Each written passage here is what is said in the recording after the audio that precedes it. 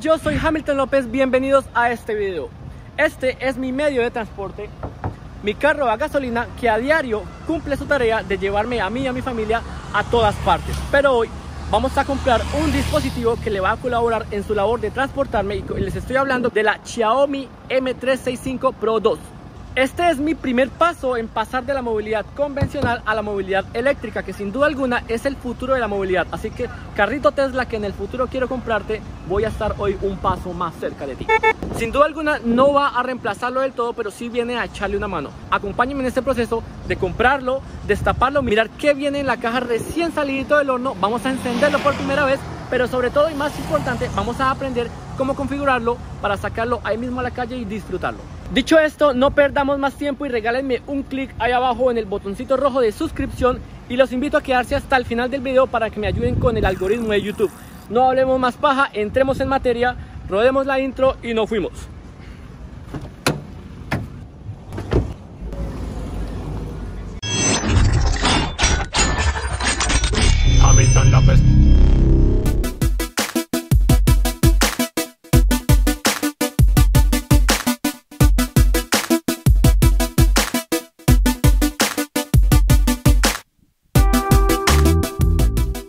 Ya estamos aquí listos para comprar la, la M365 Pro 2. De esta scooter, Xiaomi tiene tres versiones. Tiene la Essential, tiene la 1S y tiene la Pro 2. Ahora, ¿qué diferencia a cada una? La Essential tiene un rango de 20 kilómetros. La 1S tiene un rango de 30 y la Pro 2, que es la que venimos a llevar, tiene un rango de 45 kilómetros. Claro, eso va a variar de acuerdo al terreno en el que estés. Por ejemplo, nosotros, yo vivo en Villavicencio. Villavicencio es una ciudad que es básicamente plana, por eso nos llaman la capital del llano. Entonces yo aquí no voy a encontrar, a menos que vaya a un sector muy específico de mi ciudad que es bien empinado, básicamente el resto es completamente plano, por lo que ese, rango, ese rango de, de, de la scooter básicamente se puede cumplir.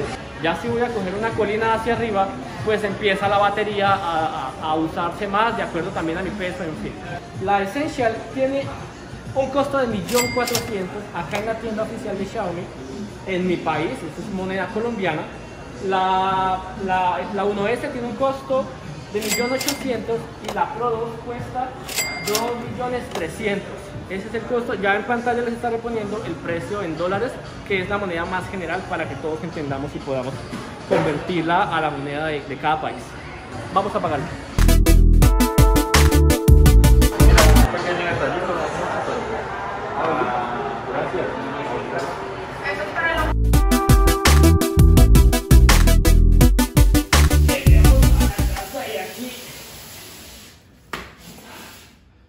¡Listo!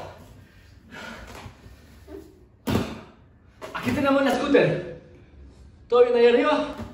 ¿Todo bien ahí frente? Muy bien, empecemos este unboxing. Acostémosla así un momentico. Acá en las indicaciones nos dice Mi Electric Scooter Pro 2. Dice que tiene una aplicación inteligente que es la aplicación que vamos a poder utilizar para al inicio, recién sacamos la, la scooter, para poder desbloquearle todas sus opciones de conducción, etcétera. Dice que tiene un panel de control multifuncional, que es la pantalla que viene en la parte de arriba. Esta, la Pro 2, tiene un rango de 45 kilómetros de autonomía en la batería. El motor es de 300 watts de potencia, que puede llegar máximo hasta 600, que tiene freno eléctrico en la, supongo que en la llanta de adelante, en donde está el motor, y freno de disco en la llanta de atrás. Tiene neumáticos inflables. Esta scooter, si se fijan en el esquema, no tiene ningún amortiguador ni de atrás ni adelante, por lo tanto todo el impacto de los huecos, de los baches, de los andenes lo van a asumir básicamente los neumáticos inflables. Y dice que el marco de, las, de esta scooter viene en aluminio de aviación. O sea que tenemos un pedazo de avión acá. Vamos ahora a romper este plástico para poder destaparla y ver qué es lo que viene adentro. ¡Qué emoción! Yo hace muchos años quería tener un aparatico de estos. En el carro, por ejemplo, yo me gasto unos 80 mil pesos en gasolina cada 5 días. La gasolina que se gasta en el carro es siempre considerable en mi caso particular. Con este aparato, con esta scooter, voy a empezar gradualmente a utilizarla para ver qué tanto va a disminuir ese consumo de gasolina en mi carro. Me estoy asando.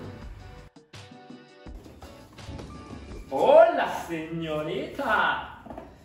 ¿Cuántos kilómetros vamos a recorrer tú y yo por esta ciudad?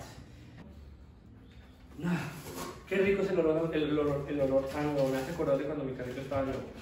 Aquí adentro trae una declaración de conformidad. Hasta las hojas huelen nuevo. Aquí viene lo que parece ser un destornillador con 2, 3, 4, 5 tornillos. Adentro vienen manuales de usuario, vienen las especificaciones del producto y viene información importante. Desde acá ya puedo mirar que viene, se ve la scooter, se ve una llanta de repuesto, sí, de repuesto porque viene con las dos llantas ya, ya, ya, instaladas. Esto que, debe, esto que es el cable de carga junto con la válvula para poder inflar las llantas de esta scooter. Esta scooter tradicionalmente desde que la sacaron ha tenido muchos problemas con los pinchazos. Mucha gente reporta pinchazos. Eso, las personas que nunca se les ha pinchado es porque dicen que más o menos cada 8 o cada 15 días están revisando la presión de los neumáticos. Eso lo tengo en mente.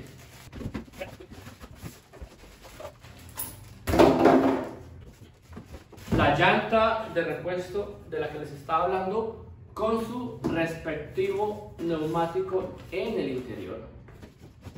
Uh, pesa.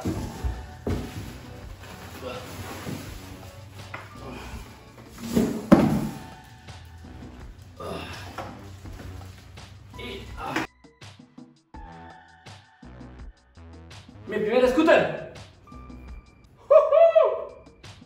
Atornillemos. Vienen 5 porque es uno de repuesto, así que si pones, si vienen 5 y pones los dos de atrás, pones los dos de adelante y te sobró uno, y te preocupes porque dirías, ah carajo, la ensamblé mal, me sobró un tornillo, ¿cuál, de, cuál parte se me va a salir volando después? No, es que tiene un tornillo adicional en caso de que se suelte y se pierda uno. Vamos a hacer una revisión más detallada de la scooter.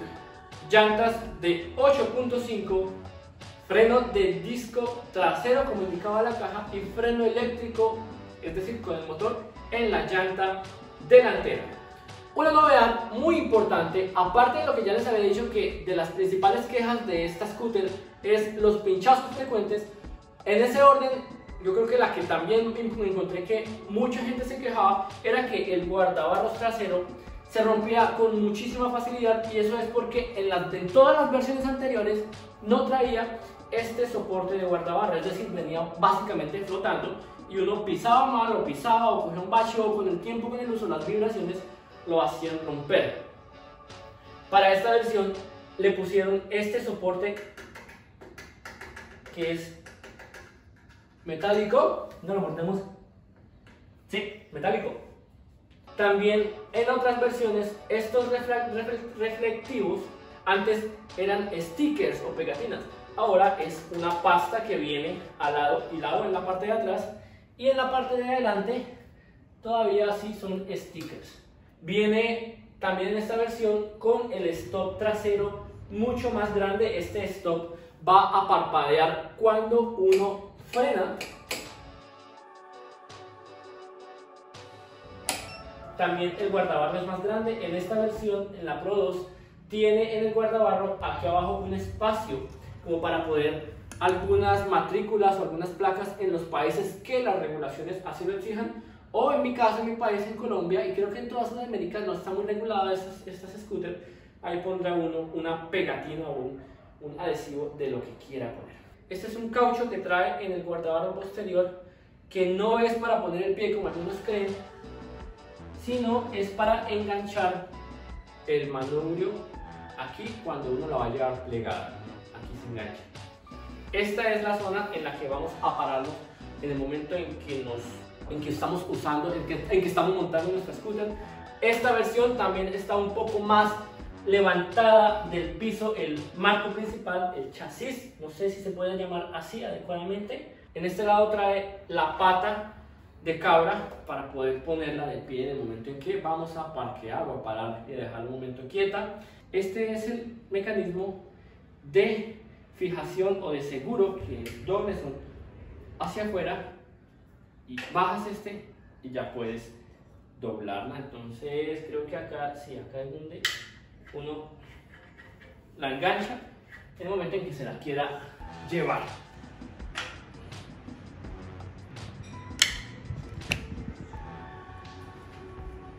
Por aquí adelante trae un reflectivo, no en adhesivo sino en pasta. Aquí arriba con que nos vamos a encontrar de los dos agarros, las dos empuñaduras, el freno que es con la mano izquierda, el pito, bueno el pito no, eso es un timbre en realidad, y el acelerador. Y esta es la pantalla en donde nos muestra la información como velocidad, modo de conducción, cantidad de batería que nos queda, etcétera. Y creo que aquí también muestra la cuando está encendida la luz. Y el botón de encendido y de apagado. Aquí adelante tenemos la luz LED específicamente útil para las noches para que nos vean.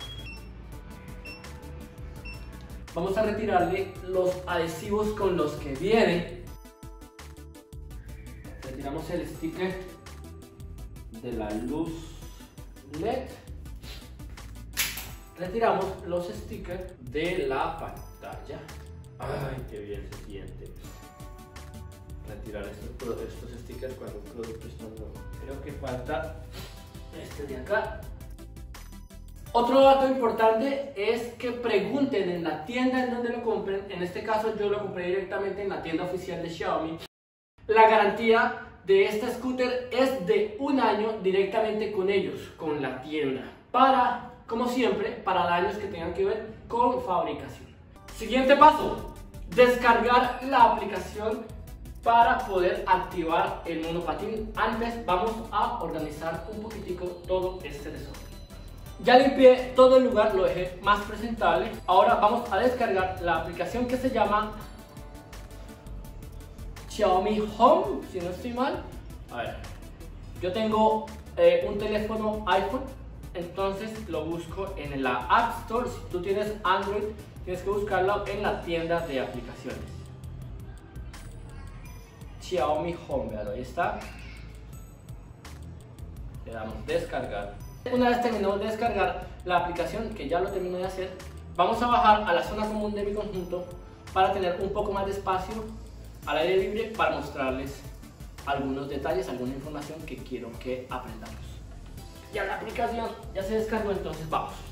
Mientras hagamos el unboxing, saquemos nuestro, nuestra scooter de la caja y no la activemos por medio de la aplicación, se va a escuchar ese pitido constantemente. y además no los voy a dejar pasar de 5 kilómetros por hora. Fíjense en lo siguiente. Voy a ponerlo en modo deportivo, que es inclusive el más rápido, y no me va a dejar avanzar básicamente más que a velocidad de peatón.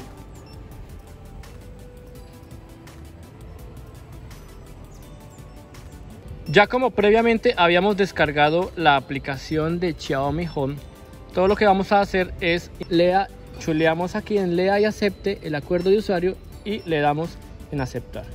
Xiaomi Home quiere acceder a Bluetooth, toca darle, por supuesto OK porque por medio del Bluetooth es que nuestro celular se va a conectar a la scooter, entonces le damos OK. Xiaomi quiere acceder al micrófono, si ustedes quieren yo le voy a dar OK, ustedes verán. Quieren ver notificaciones, voy a darle permitir. Vamos a buscar acá nuestro país, en mi caso es Colombia, ¿verdad? Colombia, guardar y si no tienen cuenta, como en mi caso, pues se, registran. Y si ya tienen cuenta, pues solo cargan su cuenta. Entonces ya vuelvo en un momento, voy a hacer mis pasos de registrarme y ya continuamos con el video. Ya creé mi cuenta en Xiaomi. Le vamos a dar, permitir a Xiaomi acceder a tu ubicación. Le voy a dar permitir al usar la app. Primero vamos a encender nuestro scooter. Se fijan que ahí está sonando, está parpadeando la pantalla y está sonando el pitido que indica que no se ha activado todavía. Le vamos a dar en la esquina superior derecha donde dice más, añadir un dispositivo y ahí nos aparece ya la serie MI Electric Scooter Pro 2. Seleccionamos naturalmente esa. Dice, se ha encontrado mi Electric Scooter Pro 2. Presiona el botón de encendido para emparejar. Asegúrese de que el Bluetooth está encendido y coloque el teléfono lo más cerca. Hay que esperar tres pasos. Ah, bueno, ahora cuatro pasos. Conectar, estándar, verificación, vincular el dispositivo y extender, extensión iniciada con éxito. Vamos a escogerle que salón. Hay que escoger alguna de esas, no importa cuál. Y le das siguiente. Escoges el nombre que quieres para la para tu dispositivo. Ok. Siguiente. Comencemos. Vinculando dispositivo, el Bluetooth. Todavía se escucha el pitido. M365 Pro 2 de Hamilton. Aceptar. Y listo. Actualización disponible. Se actualizar ahora. Actualizamos. Aceptar. Aceptar.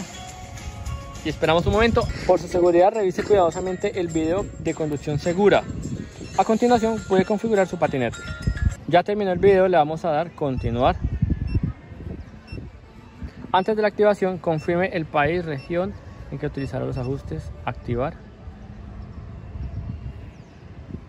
y ya dejó el pitido la scooter o sea que en teoría ya quedó activada y ya vamos a poder usar a full todas sus velocidades y todos sus modos de conducción. Por ejemplo la opción de bloquear es esta. Le das tocas aquí en el candado y la patineta va enseguida a aparecer el simbolito. Ahí no se alcanza a mirar bien pero aquí apareció bloqueado. Cuando, cuando yo bloqueo la scooter desde mi aplicación y alguien la mueve no solo pita, sino y abajo se, escucha cómo se frena, sino que además me vibra el celular. Qué interesante. Para desbloquear, pues le damos acá y listo, vamos a probarla, a ver cómo nos funciona ahora. ¿Cómo encendemos nuestra scooter? La encendemos oprimiendo una vez el botón y la apagamos manteniéndolo sostenido un par de segundos. Son tres los modos de conducción que tiene y vamos a cambiar entre modos de conducción oprimiendo dos veces el botón de inicio. El primer modo se llama peatonal en el que alcanza los 5 km por hora. El segundo modo se llama diario en el que, alcanza los 20 km por hora. Y el modo sport en el que usamos a full la, la batería alcanza los 25 km por hora. Para arrancar la scooter no te va a funcionar desde cero tú oprimes el acelerador y no arranca. Para arrancar primero tienes que darle un pequeño impulso y ahí sí, oprimes el, acelerador y alcanza la velocidad.